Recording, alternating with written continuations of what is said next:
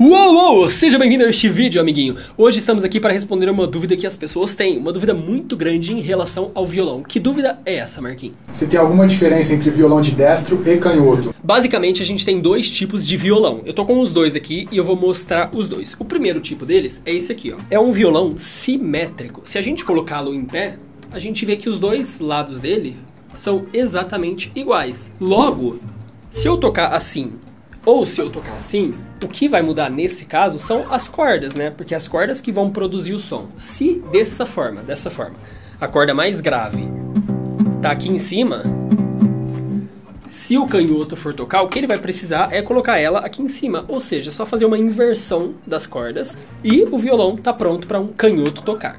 E agora tem uma segunda situação, que é desse outro violão que eu vou pegar aqui. Ó. Esse violão, se vocês forem reparar, ele não é simétrico, tá vendo?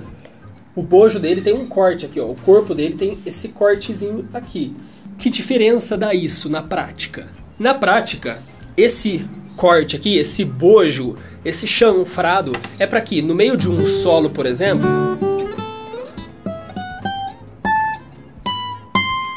o músico possa vir e tocar até aqui.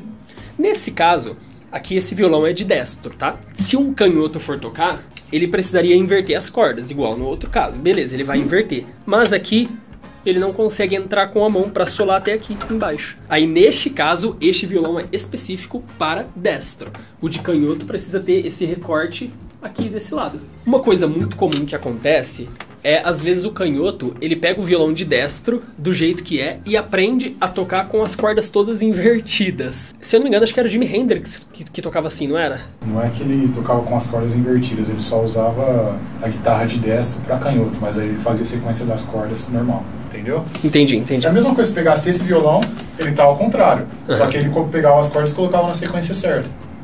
Mas tem pessoas que de fato não invertem as cordas. E aí a pessoa precisa fazer os acordes todos ao contrário. É muito mais difícil, sobretudo porque as cifras, o jeito de tocar já é todo padrão. Então o que eu indico é invirta as cordas para que você possa deixar a mais grave sempre em cima e a mais fina sempre embaixo.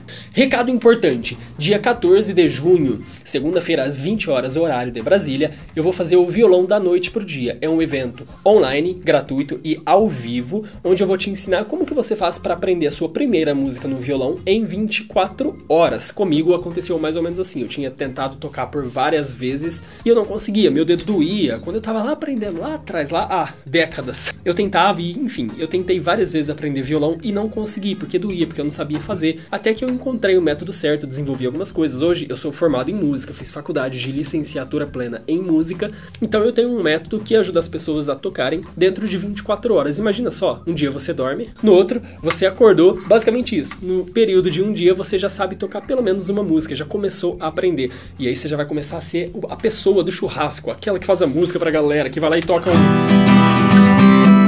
Legião Urbana. Não, não tem mais Legião Urbana, né? Não. Galera já nem fala, mas agora é Marília Mendonça.